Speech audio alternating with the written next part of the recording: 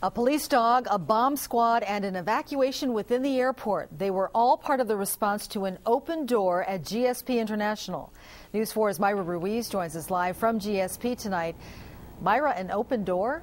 Yes, Carol, it was that open door left unattended in a secure part of the airport and the fear that someone who wasn't authorized to be there went through. It only took a couple of hours for a security sweep to bring things back to normal at GSP International. Just mentioning a possible security breach evoked a variety of images in the minds of travelers. Terrorism, people trying to get on planes. You know, like people breaking in and trying to like put stuff on planes. Leaving unattended bags and suspicious things like that. Turns out what was left unattended was a secure door leading to the airfield. And an open secure door, of course, triggered a standard security sweep. That sweep included calling the GSP Police Department along with the GSP bomb dog uh, to come out and do an inspection of the area.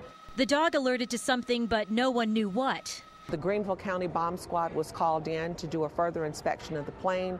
Um, as it turns out, uh, it was a false alarm. Uh, there was not a bomb on board the flight.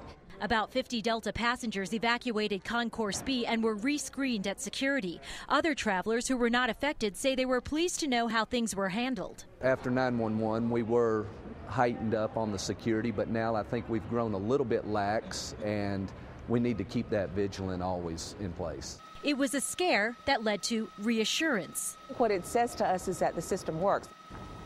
Airport, airport spokeswoman Rosalind Weston tells us there were some minor inconveniences caused. For example, the passengers on Delta Flight 5493 were supposed to leave at 1123, but instead they took off at 1245. Also, an incoming Delta flight was redirected to Concourse A instead of Concourse B because of the security sweep. Myra Ruiz, WYFF News 4, live in Spartanburg County.